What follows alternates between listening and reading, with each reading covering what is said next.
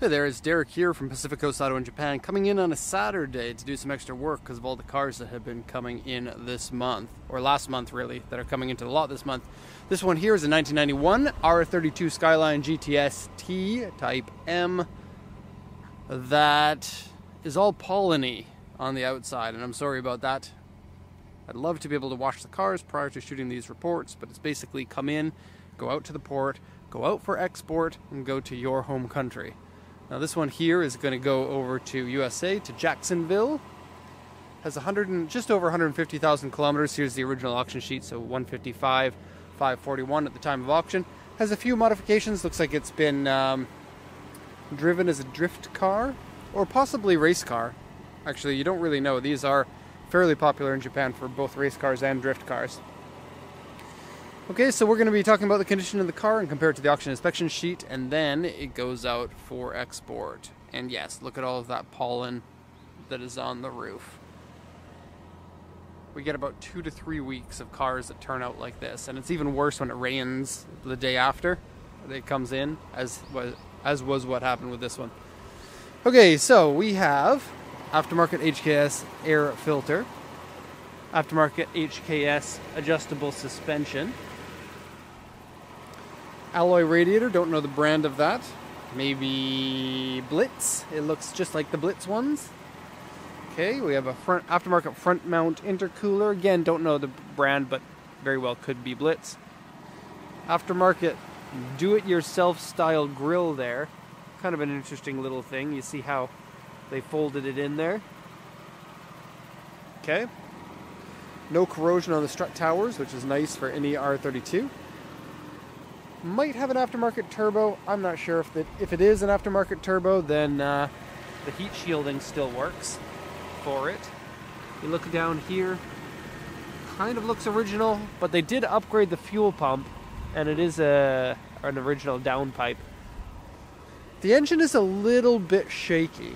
I think that it's going to need some proper tune-up, and uh, otherwise it runs fine. It is just a little bit shaky. Might have to do with motor mounts, might have to do with not firing as nicely on one cylinder as the other ones. Really don't know until someone that's a mechanic will check that out. Okay, uh, gonna lower the hood here. The oil and coolant both looked okay. It's missing the clip for this, so it just kind of sits here. Okay, and uh, it has these hood pin, pretend hood pin pieces. I don't know if those are real, but there's no pin underneath. They are real. So if you put your own uh, anchor underneath, then you can use those. Okay, close that up. Quick look at what the car looks like with the hood closed. And I'd say it's a pretty good looking R32. It has been repainted in the original color. And, um, you know, a lot of these R32s are in pretty bad condition if you're looking for an R32, you really need to be trying to get one that's at least mid price or higher because R32s were such cheap cars for such a long time that a lot of people really didn't take care of them. And especially since they're popular drift cars or race cars, most of the time people who use them on the track, you know, they're they're spending more money on tires and modifications than they are on keeping it running. And like 10 years ago, you could buy something like this for like $1,500 or $2,000. So because it was easily replaceable, you know, just buy another one was the idea. Not so much the case anymore. Now these are a lot more, like five or in some cases seven times more than they used to be because they're running out. This one here, I'm just going to translate this real quick. There are a lot of things to go over here, so bear with me for a sec. It's a 1991 Skyline GTS-T Type M 2000cc engine, two-wheel drive. That's rear-wheel drive, of course. Auction rate R, interior C, power steering, power windows. The sales points here are original 5-speed manual, RB20D ET turbo engine, aftermarket intercooler, aftermarket air filter, aftermarket exhaust, aftermarket radiator, aftermarket clutch. It seems like a twin plate with lightweight flywheel. HKS adjustable suspension, work 18 inch wheels. They are not in good condition and they have highly stretched tires. And you can scram. That was supposed to be a joke because the name of the car is Scram. It wasn't that funny. Well, scrum technically, but the A and U in Japanese is interchangeable. So scram, get out of here. Uh, driver and passenger have burrito, burrito seats. Yes, who doesn't want burrito seats? That's just kind of how you pronounce bride in Japanese. So they are not matching bride seats. This one here has a black liner, and this one here has a multicolored liner. I'll come back to the interior in a sec. Okay, and the notes here says aftermarket diff with question mark. Yes, it does seem like a, a clutch pack. Di- dr- Today is not a good day for speaking. A clutch pack diff. I should do like uh, what actors do and go la la la la la in order to work on my tongue, especially on a Saturday like today. Okay, so here's the report. There are a lot of things here, so again, bear with me. It has been in a front end accident that has been repaired. Interior dirty, scratched. Core support and front support have both been replaced from the accident. Seat fade and cigarette burn. You probably saw that on the passenger side seat. Left and right front inner panel and left and right front side member dented, as in damage from an accident and bent back into shape, and modified for the left and right front side members. Okay, dashboard comes up or is deformed. As people know, that's a very common thing on these R32s.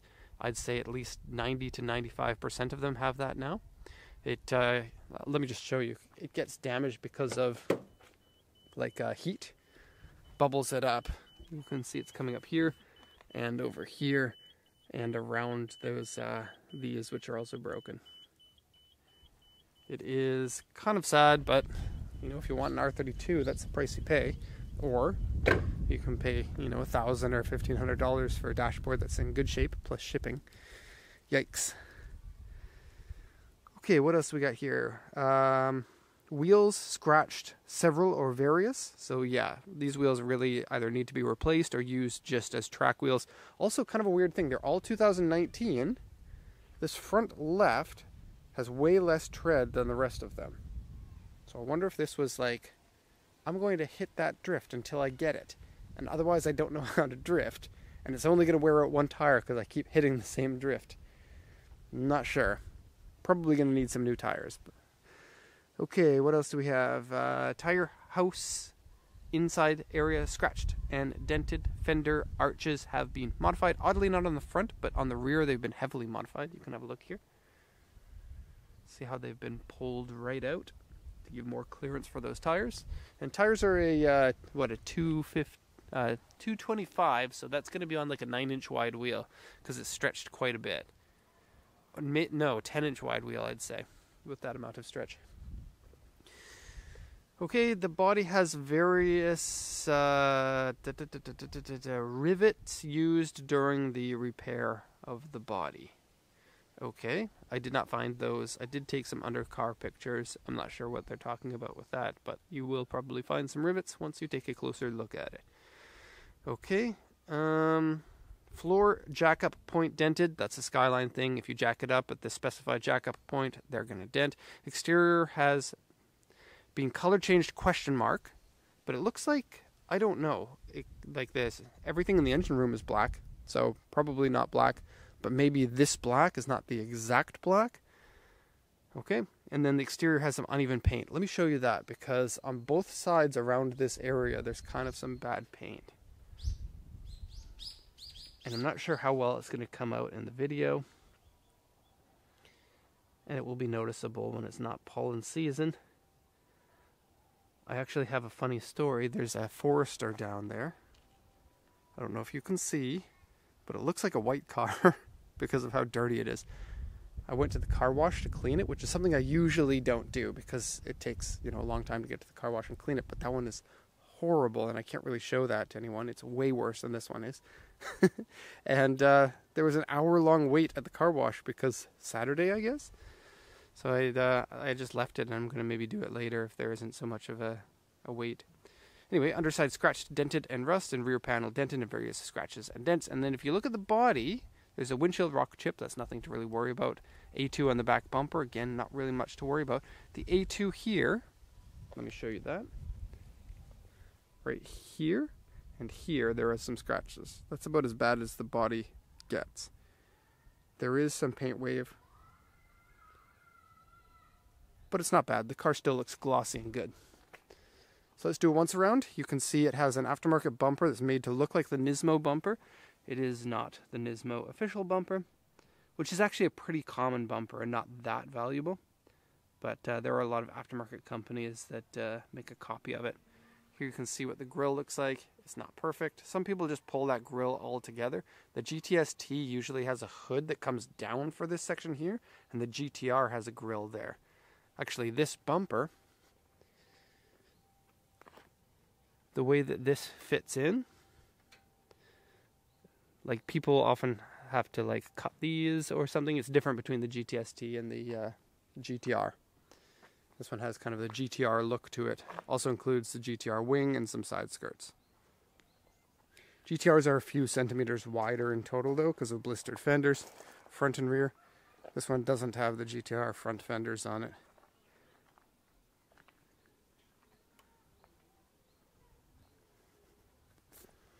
Here have a look at this stance or how it sits. Looks pretty good. It rubs a little bit in the front rear I couldn't get to rub. And actually with the way that our parking lot is laid out because it's like this this road is on a hill and this parking lot is on a hill, you can actually get a good idea if the cars rub while getting out of it because it stresses your diagonal wheels like the front left and the rear right will both go up while the other two go down if that makes sense and you'll you'll notice some rubbing if the car rubs usually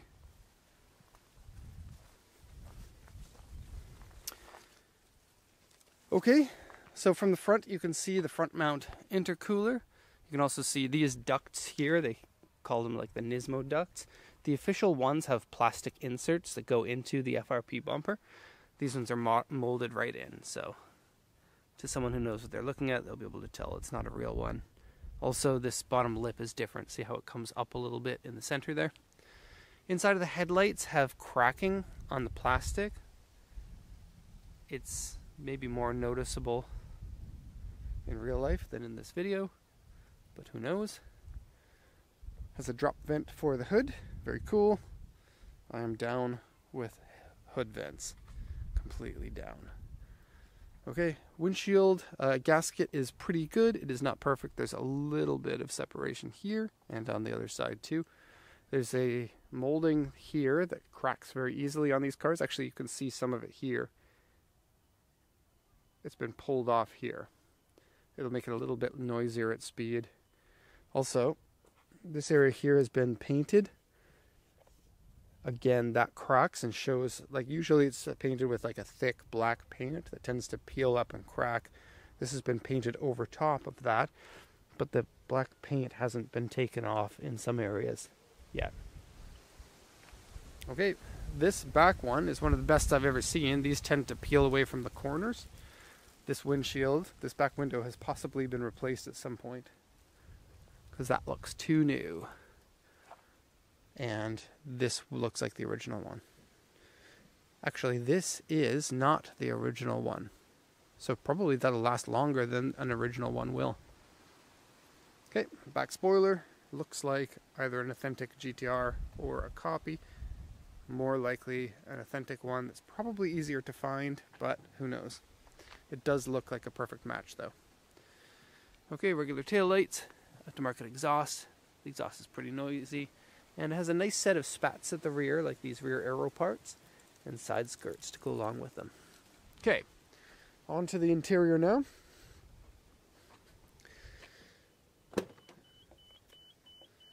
That's annoying that it makes that beeping sound. You could hear it when the door was closed. Usually that beeping sound goes away once you close the door. Okay, these door cards are from later model. This is a little bit strange. So this car has had no interior at some point in its life. This is a 1991. These door cards came in in 1992, and they match the rear seats that came in in 1992. And so, kind of a weird little thing there. Uh, but it has the early model dashboard here. Um, notice how this is smooth. It gets a texture from 1992, so this doesn't match the seats.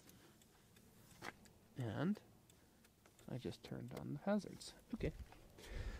All right, so door cards are a little bit different. There's a little bit of uh, sagginess in them. Okay. Otherwise, that looks okay. There's some color fade on this. Folding mirrors works. Power windows both work. Has the original steering wheel, but it looks like it's gone through some sort of a repair to it. You see how it's a little bit different in some areas?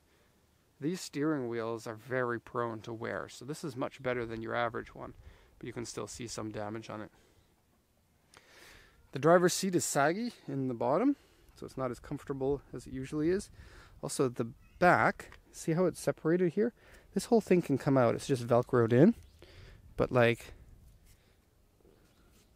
it's like stuffy or something, like not as smooth as it once was, so it doesn't fit in there perfectly. Uh, certainly repairable, or you can just change seats. Okay. We have an aftermarket gauge hood up here. We have a lot of wear on the shift knob, but it is an original one. And then a spin turn knob e-brake handle. Okay, see a little crack at the top of this. trying to do this one handed, so it's going to be a little bit shaky.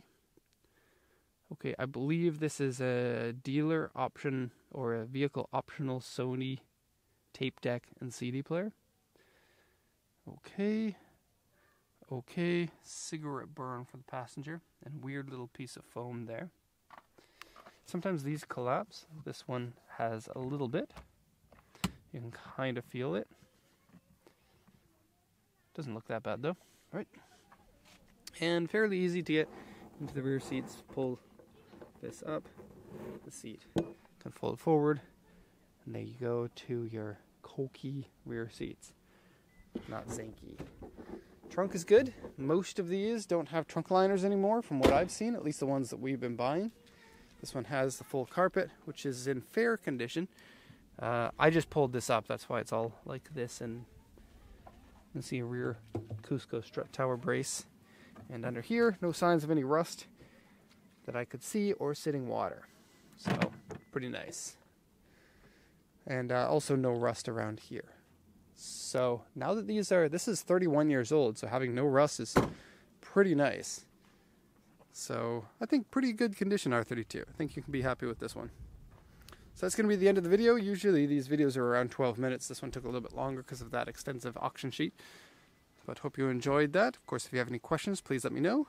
Otherwise, thank you so much for watching and have a nice day. Okay, having a look at the wheels and tires here. We have a set of Work Emotion wheels on there. The wheels aren't in very good uh, shape. The ones on this side are scraped a little bit. The ones on the, the on the other side are scraped a lot.